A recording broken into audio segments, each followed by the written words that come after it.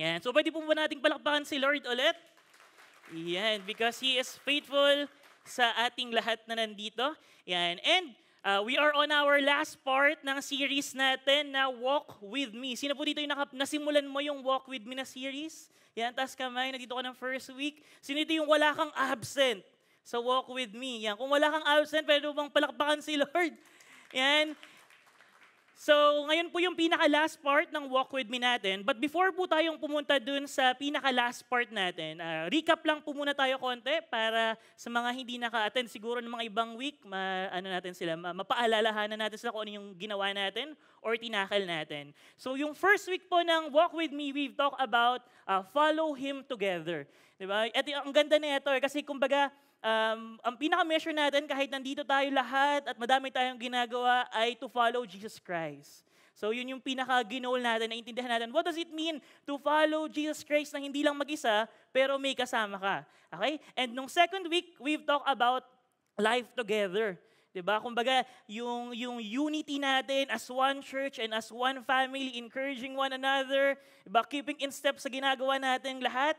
And last week, di ba, we've talked about yung special series nga natin na pinreach ni Pastor Eric na naintindihan natin na in our walk with God, there's still challenges. Di ba? May mga challenges, may mga trials. But good news, nandito si Holy Spirit para itulungan tayo at empower tayo sa mission natin to follow Christ. And ngayong umaga po na ito, pag-uusapan natin ang yan, on mission together. Sabihin, po nga, sabihin nga po natin, mission together. Yan, mission together. Sino po dito yung natutuwa na nung nailigtas ka, nakilala mo si Christ, hindi ka niya in-isolate at nilala sa isang lugar at ikaw lang mag-isa doon. Di ba? Pero na, tayo ngayon ay natutuwa dahil nung sinave tayo ni Jesus Christ, dinala niya tayo sa isang community where we can grow together sa pag-follow kay Jesus Christ. Yan, di ba? So, lahat tayo ay may mission and yun po yung pag-uusapan natin sa umagang pong ito. Di ba? Talking about mission, may mga ginagawa tayo sa buhay natin, mga long-term mission man yan or pang araw-araw na goal natin or purpose, na may mga challenges tayong na-encounter. Di ba? Parang may mga gusto kang gawin today, pero parang biglang may challenges. Sino po yung naka-experience na ng ganun? Di ba? Halos lahat po tayo, we, na-experience natin yung mga bagay na yun. And isa po sa mga bagay na yun na uh, we encountered ay first is yung, kumbaga, yung um, may mga bagay na hindi ka magets. For example, ito, sino, sino po dito yung na-experience mo ng maglakad sa SSS? Yan, kung bagong graduate ka ng college, yan ang una mong gagawin. Mag-work ka, maglalakad ng SSS, pag-ibig, o kaya minsan naman pag um, sa driving school, LTO, di ba minsan may goal ka, pero dahil ang dami mong nakikita, hindi mo maintindihan, ano, ano ba nangyayari? Di ba, medyo uh, di, di mo alam, parang minsan na, na, nadadali ka kasi di mo magets. Kaya magtatanong ka, sasabihin sa'yo, sige, ako na pong bahala. Iba pala eh, no? mali, na, mali, mali na tanong. Yan. Pero kumbaga, um, ito po yung mga bagay, minsan sa goal natin, may mga challenges na nakakalito, hindi natin magets, hindi natin maintindihan. Hindi lang po sa mga paglalakad ng papeles, minsan di po, uh, pag mga nagda-drive ka na, minsan ang gulo sa daan, ang gulo ng mga, um, lalo na sa Metro Manila, yung mga signs, hindi, hindi natin magets. Parang ito nakita ko, sabi dito, load na dito. Yan. Pero sabi dito, no loading and unloading. Yan. So ang ginawa mo, nagpa-load ka sa driver. Yan. yan. Yan po yung mga example natin na ano, uh, joke lang naman po yan. Pero kumbaga, um, in, uh, in the reality of our goal and purpose, we are experiencing uh, mga challenges at trial para i-fulfill yung goal natin. Okay. Minsan, hindi lang naman po nakakalito, pero may mga times na alam mo yung purpose, hindi ka nalilito, gets mo kung ano yung dapat gawin, pero kailangan mo ng ano, kailangan mo ng um, medyo kailangan mo pa ng konting practice or medyo hindi ka ganun ka-capable. For example, is uh, yung pag ano, pag pag music team, 'di ba? Yung parang talagang pinag-pray mo isang taon, 'di ba sa ministry, 'di ba? Parang two years, tapos parang sinasabi ni Lord, anak, baka pang kids ministry ka. May mga ganun, di ba? Or di ba, kunyari, passion mo talaga to, kaso medyo kailangan mo pa talaga mag-practice. Dahil minsan may goal tayong ganun, pero nakita natin yung in- incapability, or hindi naman minsan incapability, pero kailangan mo pang matuto, may lacking pa sa'yo. Yan, isa. And um, may, may iba naman na hindi lang sa music, uh, pag, uh, hindi lang doon sa part na yon pero minsan may mga times that we want to start our uh, small business, And minsan nahihirapan tayo, yung challenge, challenge doon is may mga times na na-hype ka lang, na kailangan mong mas maging equipped, 'di ba? Paano gawin? Kailangan mong aralin, ano ba yung kailangan mong gawin? Ano ba yung mas tamang diskarte para mapalago ko yung business, 'di ba? Ito po yung mga mga bagay na na-encounter natin. May mga um, na distract tayo or minsan may mga uh, we are lacking dun sa knowledge and wisdom paano gawin yung goal na ginugol natin. And alam nyo po doon, kung na-experience natin itong mga bagay na to, yung mga disciples ni Jesus Christ, they've also experienced this stuff as they obey Jesus Christ na-experience na po nilang madistract. Ano bang mangyayari? Hindi ko magets. Ano ba yung dapat kong gawin? What does it mean to follow Jesus Christ? And dumating din po sila sa time na, okay, gets ko na, pero parang hindi ko kaya. Parang ano bang dapat kong gawin? Uh, ano ba, kailasan ba ako magpapamentor? May mga ganong bagay. Yung mga disciples, they experience yung mga bagay na to. Hindi lang tayo. And yun po yung titignan natin sa umagang ito. Diba? Na yung tanong po natin ngayon, amidst distractions and our own limitations na experience natin, how can we stay focused on the mission God has given us together? 'Di ba? Uh, despite dun sa distraction, nalilito ka, hindi mo alam yung gawin, uh, dapat gawin or medyo hindi ka equipped para gawin yung ga- pinapagawa ni Lord sa'yo. Ano yung dapat nating isipin? Ano yung dapat nating tignan para makalakad tayo dun sa purpose na ibinigay at mag- makapag-focus tayo dun sa plan at purpose ni God na ibinigay para sa atin. Okay po? At yun po yung sasagutin natin ngayong umaga na to. So invite ko po kayong tumayo as we read our uh, passage this morning. We will be reading uh, in the book of Luke chapter 24 verses 44 to 49.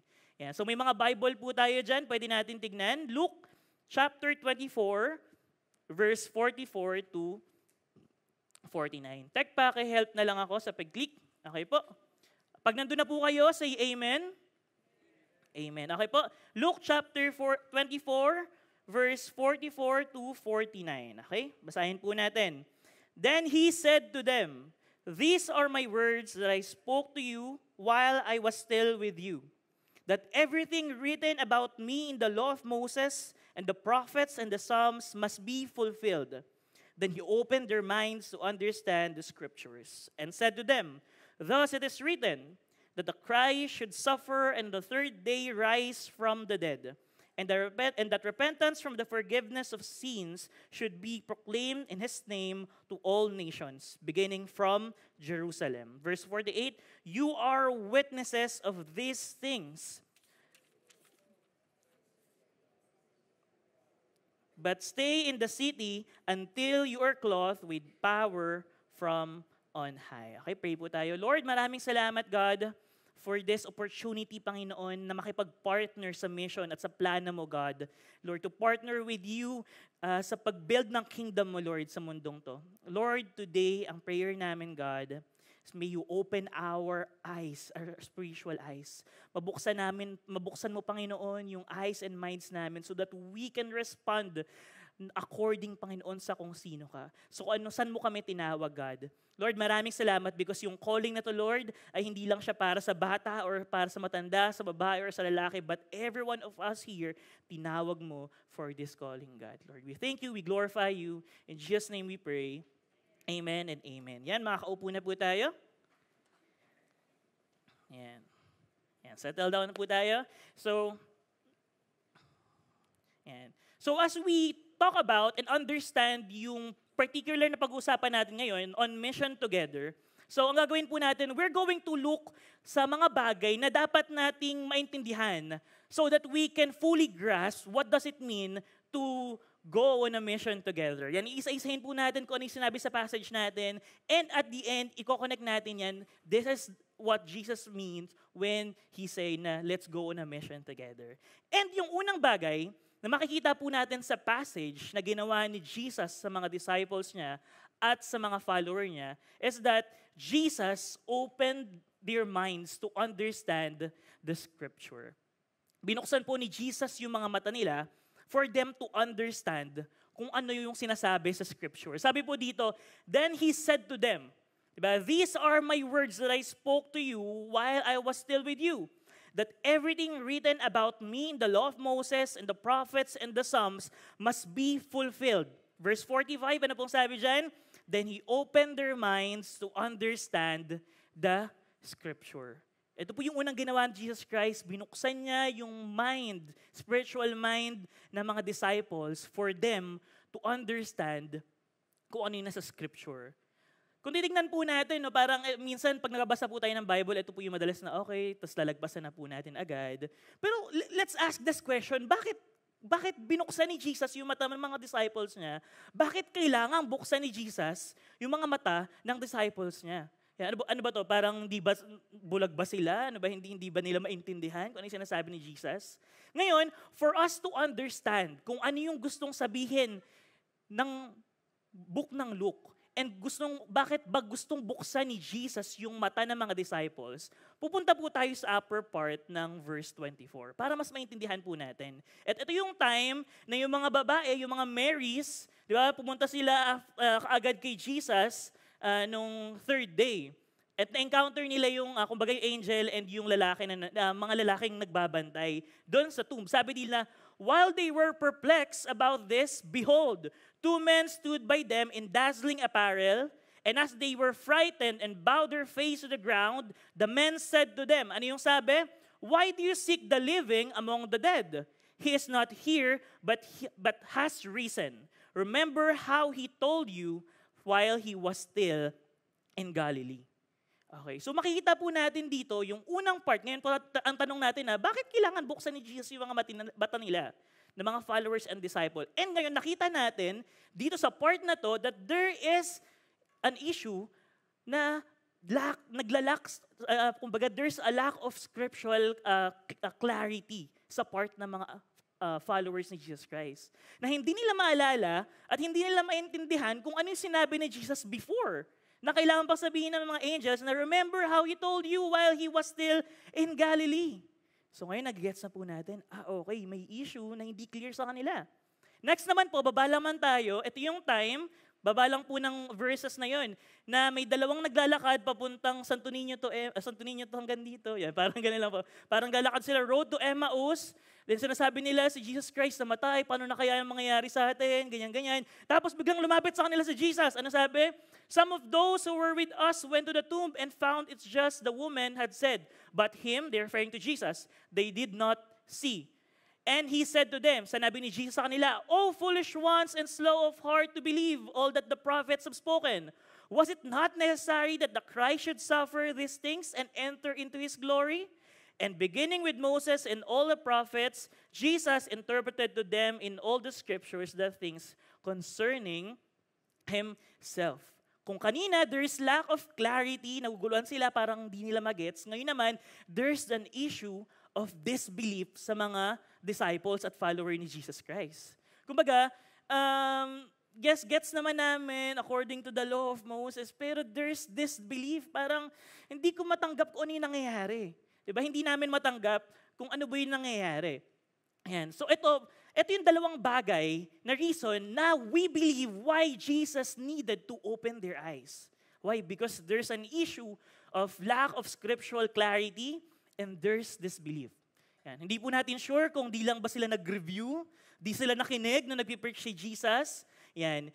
Pero there's an issue sa dalawang bagay na ito. Ito po yung nangyayari sa mga disciples.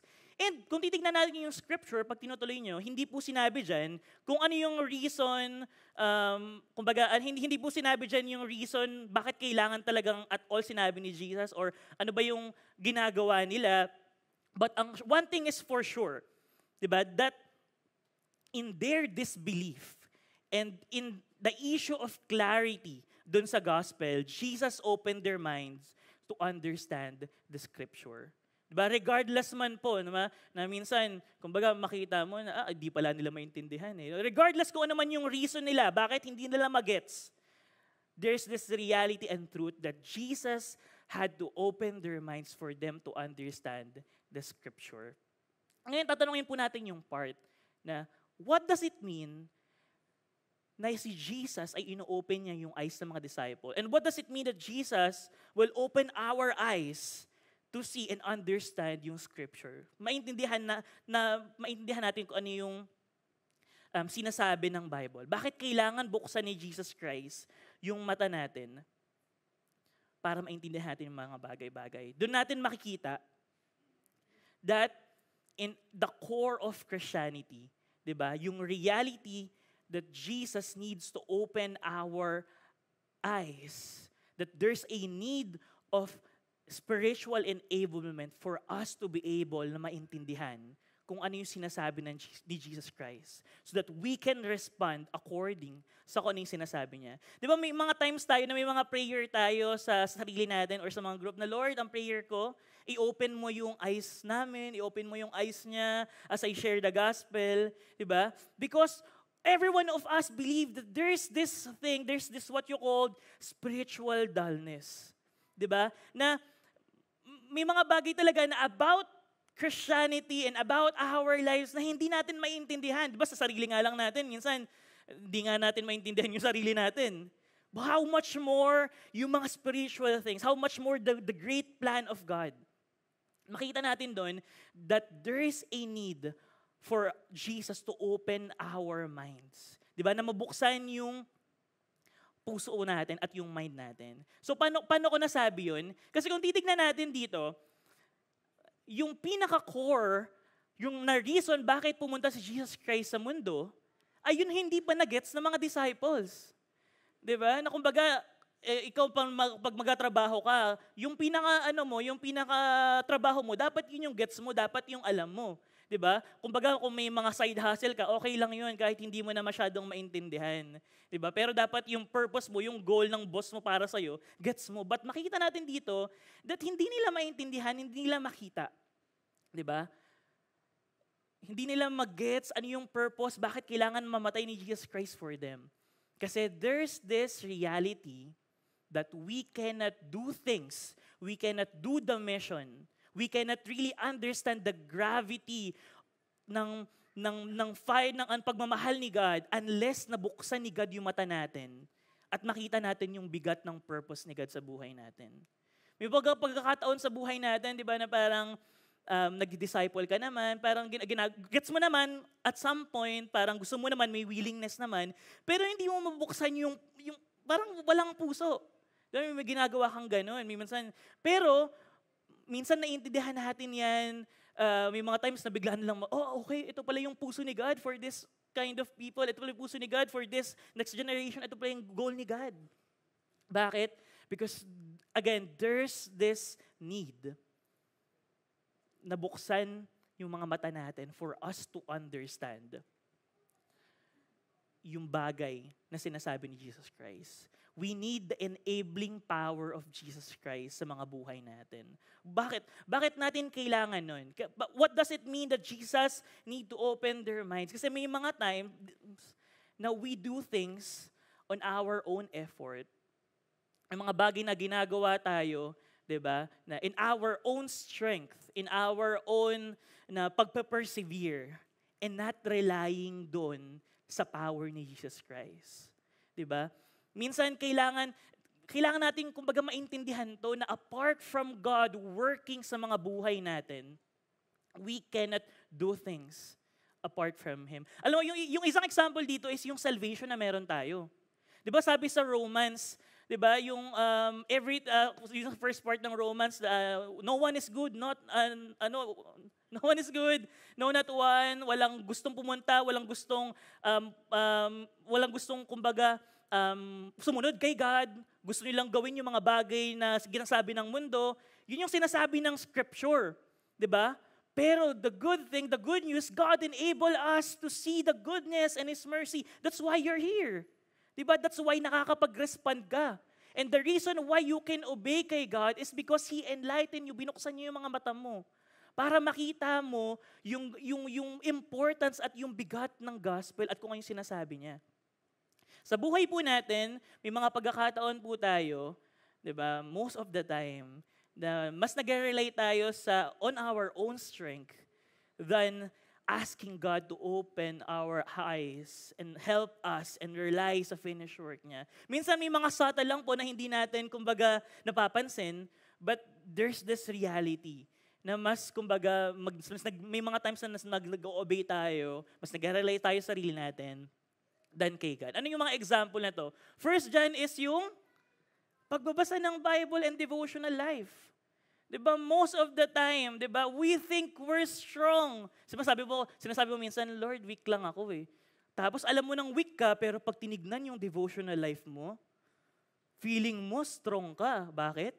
Kasi we are lacking sa pagbabasa ng Bible, sa pag-pray. We think now we can do things. We can survive this world apart from the, the revelation of Jesus Christ through the Scripture. Diba ito yung mga ginagawa natin minsan na parang, uh, kunyari, uh, nag-relay tayo, pero ito, isa, isang part yung devotion natin kay Lord. Diba? Ano yung picture ng devotion natin? Diba? Nakikita ba natin, nagre-rely ba tayo? Are we asking God to open our eyes? Are we relying doon sa enabling power ni God sa buhay natin? Or ginagawa natin yung mga bagay on our own effort? And I hope as one church din, no, parang ano, itong church na to, hindi tayo yung dapat, kumbaga ang, ang goal natin is yung we rely dun sa power ni God. More, yes, alam namin na lahat tayo dito ay binigyan ni God ng talent, at ng um, basta ng magandang boses, pagturo, lahat ng talent binigay ni God. But I pray na makita natin that we need the enabling power of God. We need to rely kay God as we do the things, our mission. Diba? Next po dyan, yan, medyo kumbaga spiritual thing, pero dun tayo sa mga personal na bagay natin. Sometimes, di ba yung mga success natin in life, yung financial stability natin, sa kung estudyante ka, yung pag-survive mo sa pag-aaral mo. Di ba? May mga times na we say sa salita natin na we need to rely kay God. Pero, pag tinignan natin, so anong picture nun? Di ba? Nang, na sinasabi mo na you're relying kay God. Pero nakikita na parang ikaw on your own, um, sarili mo, na parang convicted ka na, may, um, Lord, may, I, I know na naglalak ako. Ba? May mga ganong times tayo na may mga times na sa career, 'di ba? Mas ine-effort. Yes, walang masama na mag-effort ka. Again, um, kailangan mong gawin 'yon. Kailangan mong mag-extra effort para gawin yung mga bagay na 'yon. But again, as Christian, as follower of Jesus Christ, we need to understand and accept that we cannot do things apart from the enabling power of God sa mga buhay natin. Sa lahat ba ng aspeto ng buhay natin. And I hope na ito yung makita natin Diba? Ito yung makita natin sa buhay natin, itong truth na to. That's why we need to understand and accept that we need the enabling power of Jesus Christ. Na ask God every day, Lord, buksan niyo mo yung mga mata ko. Ba lahat naman tayo dito gusto mag-obey kay God, di ba? Pero may mga times na ang hirap. But let's pray na Lord, buksan mo yung mga mata ko para makita ko kung ano ba talaga yung plano mo para sa akin. Gaano ba kabigat yung purpose mo for me so that I can walk according dun sa plano mo sa buhay ko? Okay po? Ngayon, this is the question. Ano yung itsura ng relationship natin kay God? Ano yung itsura ng relasyon natin sa Diyos? Diba? Hindi, hindi na po ako magbibigay ng example, but it's our time to reflect. Ano ba to? Um, picture ba nito is full of reliance? Full of parang, Lord, hindi ko kaya apart from you? or yung picture ng relationship natin kay God is full of credit to me. Yan. Ako to. Nagawa ko to, Lord, apart from you. Kaya ko to. Ba, okay, o kaya, Lord, one-fourth ka lang. Ako yung may dahilan ko bakit na-attain ko tong three-fourth ng meron ako ngayon. Diba? It's our time to reflect. Lord, ano ba yung picture ng relationship ko sa'yo? Nagre-rely ba ako sa'yo? Or mas nagre-rely ako sa kakayanan ko? Okay? The next thing that we can see there, ngayon naintindihan na natin, what does it mean that Jesus opened their eyes to understand the scripture?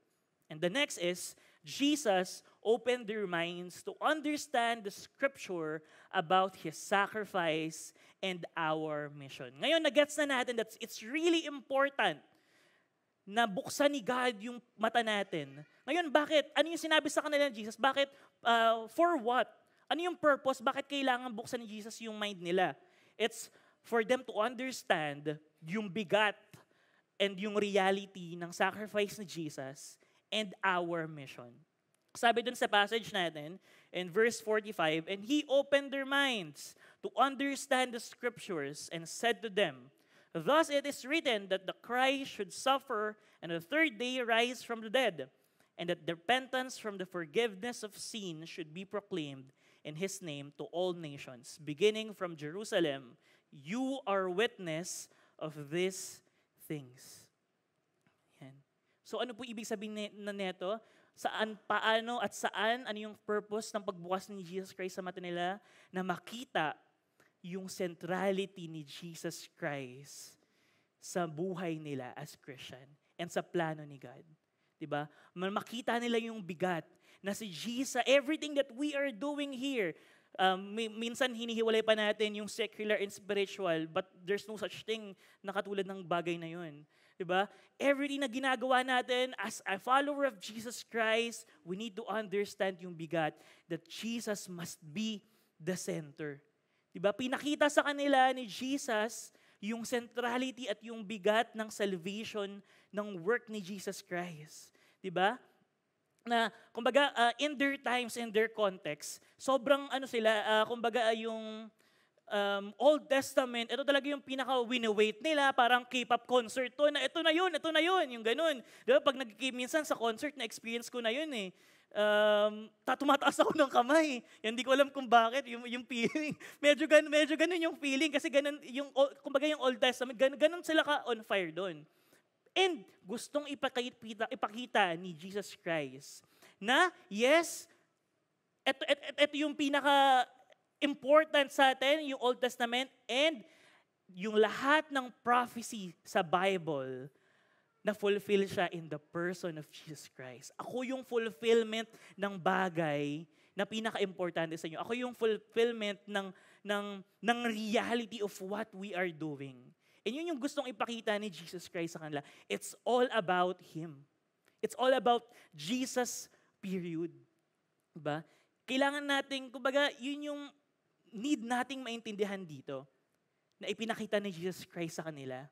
The reality of that everything, na lahat ng bagay na ginagawa nila, si Jesus dapat yung sentro at si Jesus yung sentro nun. Ngayon, makita natin, there's this two things kung paano pinakita ni Jesus yung importance at yung reality, yung bigat. Neto, sabi dito sa first part is, Thus it is written that the Christ should suffer and on the third day rise from the dead. Pinakita nila that the very core of our Christian faith is yung sacrifice ni Jesus Christ. Later explain natin yan. And yung second one, and that repentance for the forgiveness of sin should be proclaimed in His name to all the nations, beginning from Jerusalem. So again, binuksan ni Jesus Christ yung mata nila para ipakita na yung gagawin natin, yung mission natin, yung very heart of what Christianity is all about, it's all about Jesus' finished work on the cross, and it's all about sharing the salvation, sharing the gospel, proclaiming the salvation na meron tayo. Ano ibig sabihin nun? Bakit sinabi ni Jesus Christ, bakit, bakit pinakita ni Jesus Christ that it's all about His finished work and it's all about the mission. Bakit pinakita ang ganun ni Jesus Christ? Kasi kung titignan natin yung church natin today, we've, not to judge every church, but dahil sa influence ng culture at panahon natin ngayon, we've drifted away dito sa centrality ng finished work and ng mission. Maraming, kumbaga, in, in, in our, sa panahon natin ngayon? Kung ba makita tayo na maraming uh, pastors and churches na gusto nilang, parang makita na, ano ba to? Um, inspirational speaker ba to? Bakit parang walang gospel sa sinasabi nito? ba? At bakit pag pumunta parang bakit parang hindi honor God make disciple to? Bakit parang iba yung gusto niyang gawin? Kung baga makita natin dito sa panahon natin ngayon, ang daming ang daming direction, ang daming gusto na ang daming gustong gawin. Pero pinapakita ni Jesus Christ na hey, hey, it's all about my finished work and it's all about the mission. 'Di ba?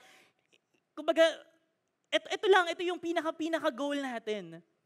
'Di ba? Marami ngayon, uh, kumbaga because, yun nga, katulad sinabi ko kanina, because of, of the influence of this world, di ba? Influence and yung mga natutunan din natin, di ba? We are paunti-unti nag-drift away tayo doon sa centrality ng finished work ni Christ. Ba ang nabi natin gustong gawin? May mga nagiging, may mga belief at churches ngayon nakakalungkot kasi parang it's all about the money. It's all about the performance na kailangan, maraming lights, maraming concert, parang parang concert, para ma-engage natin yung mga tao. May mga times na na, na hindi mo maintindihan, it church ba to or seminar tong pinupuntahan ko. And sometimes, hindi lang siya sa church, but sometimes in out, tinignan natin yung buhay natin. May mga, may mga times natin, na, even ako, may mga times na parang, Lord, parang hindi na honor God and make disciple yung purpose ko. Parang ang dami ko nang gustong i-add-ons aside dun sa finish work and sa mission na meron dapat ang church. Na dapat yun lang because yun yung centrality. Diba? May mga ganong bagay po tayo. And nakakatuwa kasi si Paul, when he preached the gospel, wala siyang dinalang ibang bagay maliban dun sa truth ng gospel na meron siya. Kung titignan po natin yung 1 Corinthians chapter 2 verse 1 to 5. Sabi po dito, si Paul po ito nung sinasabang nagle-letter siya sa 1 Corinthians. Kasi kung bagat china-challenge siya ng mga taga-Corinthians eh, um, mas maraming mas magaling sa iyo, kung ganito, ganyan ganyan. Sabi ni Paul, "And I when I came to you brothers, did not come proclaiming to you the testimony of God with lofty speeches or wisdom." For I decided to know nothing among you except Jesus Christ and Him crucified. Verse 3 And I was with you in weakness and in fear and much trembling, and my speech and my message were not in plausible words of wisdom, but in demonstration of the Spirit and the power, so that your faith may not rest in the wisdom of men, but in the power of God. Di ba si Paul nung pinipreach niya yung gospel, hindi siya pumunta doon na parang, kumbaga yung debater or philosopher. Pero ang sinasabi niya lang, di ba, si Christ ay namatay para sa inyo. Yun lang yung finished work lang ni Christ. Di ba? Kaya kung may imagine natin kung si Paul ay buhay pa ngayon at nakikita niya yung 21st century churches, medyo mapapaano siya, face palm. Sobrang ang dami natin gustong idagdag. Naalala ko tuloy yung sinabi ni Charles Spurgeon na hindi ko na lang ilalagay dyan. Pero sabi niya, the reason why yung church ay maliit yung influence sa community is because yung community na yung nakaka-influence sa church. And imbes na dapat tayo nag influensya na Jesus Christ died for us and the mission, tayo yung na-impluensyahan ng galaw ng mundo. And yun yung gustong ipakita sa atin dito ano pa yung next sabi doon? And that repentance for the forgiveness of sin should be proclaimed in His name to all nations, beginning from Jerusalem. Uh, you are witness of these things. Diba? Repentance for the forgiveness of sin. Try ko po kayo, kayo po, paano nyo po, pag nag-present po tayo ng gospel, paano po natin sinasabi o sinashare yung gospel? May mga times na ano, i-accept mo si Jesus Christ at mapupunta ka sa langit. Siyempre, Lord, i-accept kita. But nakakalimutan natin, that's all about what Jesus Christ did on the cross. It's all about repentance. Kaya kumbaga yung mga medyo ngayon, yung mga newly convert, parang hindi na nila nakikita yung gravity of rep- ng repentance. Bakit? Kasi sinasabi lang halos ng, ng churches natin ngayon ay, accept mo lang si Jesus Christ, tapos giginhawa yung buhay mo. Gawin mo lang to. Pero again, anong sabi dito? That repentance for the forgiveness of sin. Malaking bagay po yun na, na, na, na, na hindi na natin nagagawa because gusto natin um, na-influensyan tayo ng ibang bagay. At gusto natin yung madaling natin silang may engage. But again, binuksan ni Jesus Christ yung mata nila for them to understand that this is the centrality of our mission. And kung ito pa lang po, hindi na po natin, kung ngayon pa lang, hindi na natin mag-gets yung truth na kailangan buksan ni Jesus Christ yung mata natin. Kailangan natin ng enabling power at kailangan nating mag-focus dito. Pag pumunta na po tayo sa mission together, iba-iba po yung gagawin natin. Di ba, may iba gusto mong maging ano, di ba, iba, iba, iba yung goal eh. Kahit, kumbaga kahit on fire kayo, pero hindi Jesus spirit yung purpose nyo, iba po. That's why ito yung gustong ipakita ni Jesus Christ sa atin. Sabi po dyan, you are witnesses of these things. Ano po yung ibig sabihin niyan? Na kayo, na, di ba? You are waiting for the Messiah sa Old Testament pa lang, ik, ako yung fulfillment nito, sabi ni Jesus Christ. Ito yung, ito, ito yung, yung prophecy that must be fulfilled. Sabi the end, you are witnesses of these things. Diba? I-highlight ko lang po yung idea about the resurrection of Jesus Christ. Bakit? Kasi isa po yun, isa, yun yung pinaka-foundational na truth na we can share sa mundo. ba? Diba?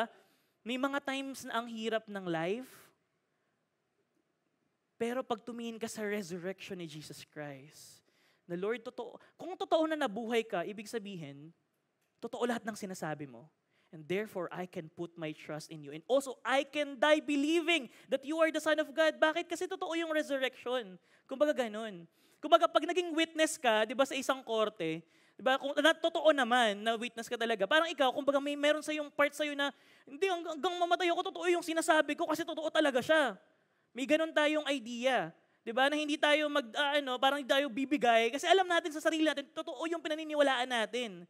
Ngayon, how much, pagano katotoo yung paniniwala natin kay Jesus Christ? Pag inaresto ba tayo because we are witness of Jesus Christ, makikita ba sa buhay natin na talagang willing tayo mamatay because na, na, alam talaga natin sa sarili natin na namatay si Jesus Christ. Alam natin na totoo yung sinasabi ni Jesus Christ. Are we really a witness of this? Diba?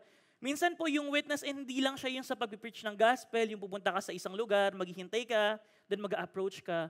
And sometimes, yung pagiging witness is yung lifestyle natin. Nakikita po ba sa lifestyle natin that we are witnesses? Na yung isang tao hindi naniniwala sa Bible, pero pag nakita niya yung buhay, ay, totoo, willing siyang mamatay for Jesus Christ. Eh. Willing siyang mag-obey regardless man sa ano yung, yung cause nun. So, hindi man siya naniniwala, pero nagre-reflect sa buhay mo yung pagiging witness sa kung ano yung ginawa ni Jesus Christ. And ang prayer natin ay mapunta po tayo sa ganong position na maintindihan natin yung bigat Minsan ang hirap intindihin, ang hirap maunawaan kung ba, uh, hindi ko nga kaya eh, hindi nga ako capable, naguguluhan nga ako eh, paano ko gagawin tong mission na sinasabi na to? ba? Diba? Pero good news, bakit po sabi dito, and behold, I am sending the promise of my Father upon you, but stay in the city until you are clothed with power from on high. Makita natin dyan that God through the Holy Spirit will enable us to understand the scripture and empower us in our witness and disbelief to effectively witness the world about His salvation. Diba? In our weakness, in our disbelief, kung nalilito ka man, napapaganyan ka na everyday, hindi mo maintindihan kung ano yung plano, anong ginagawa ni God sa buhay mo. We have the Holy Spirit na ibinigay ni Jesus Christ for us na maging ano, ma-empower tayo and to effectively witness sa kung ano yung ginawa ni Jesus Christ para sa atin.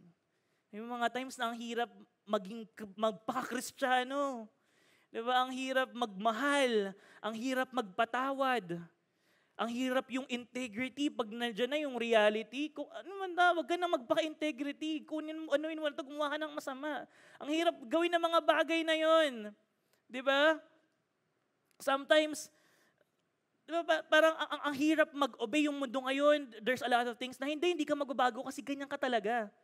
Pero alam mo yun, we are not a slave of our environment, our DNA, or yung paligid natin because the Holy Spirit is in you.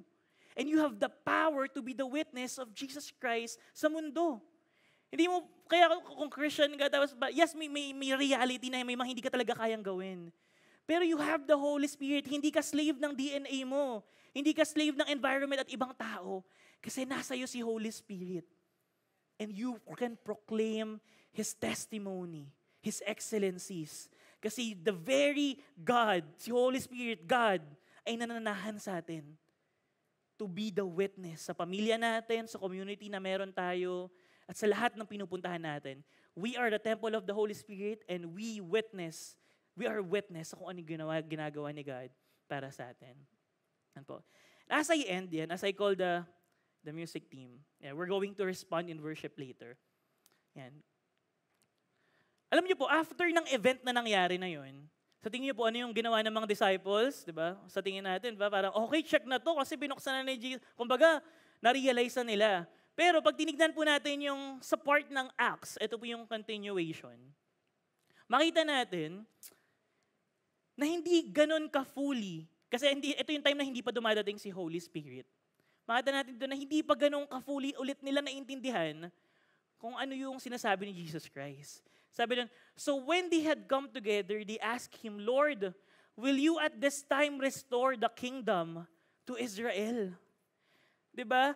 They, they were still waiting for a political kingdom na magsasave sa kanila sa Roman uh, Roman um, occupation, 'di ba?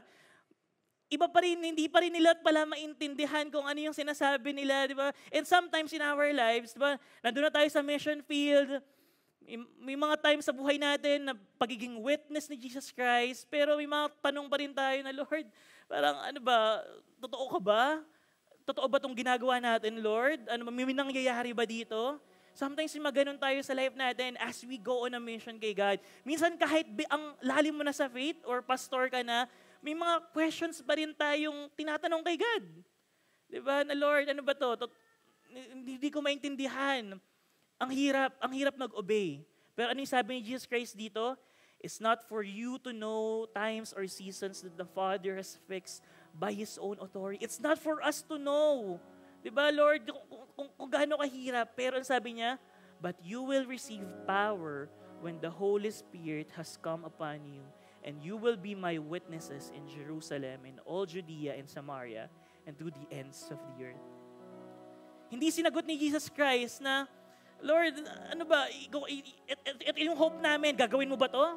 Sabi Jesus Christ, it's not for you to know. It's not for you to find out ano yung gagawin ni God the Father. Yes, I know mahirap, but you will receive power. So kumbaga, may, there's a lot of questions in our minds, in our hearts. But God wants us to direct. Na yes, alam ko, I acknowledge yung mga question, naririnig ko yung mga prayers natin, yung hirap that we are experiencing but you will receive power when the Holy Spirit has come upon you. Yes, Lord, ang hirap, Lord, sa work ko. Lord, yung integrity ko ay nasa-challenge. But you will receive power when the Holy Spirit has come upon you. Diba sa buhay natin, Lord, ano ba to, Lord? Parang ako na yata, sinabugan na ako ng, ng problema. Lord, ayoko na mabuhay. But you will receive power when the Holy Spirit has come upon you. And you will be my witnesses in all Judea and Samaria and to the ends of the earth. We have a lot of question. Lord, hindi ko kaya. Hindi ko kayang gawin to. Hindi ako empowered. Hindi equipped. Naguguluhan ako. But you will receive power when the Holy Spirit has come upon you. And you will be my witnesses in all Judea and Samaria and through the ends of the earth. Tayo po, we have a lot of questions. But isa lang yung sinagot ni God dyan. We will be His witnesses.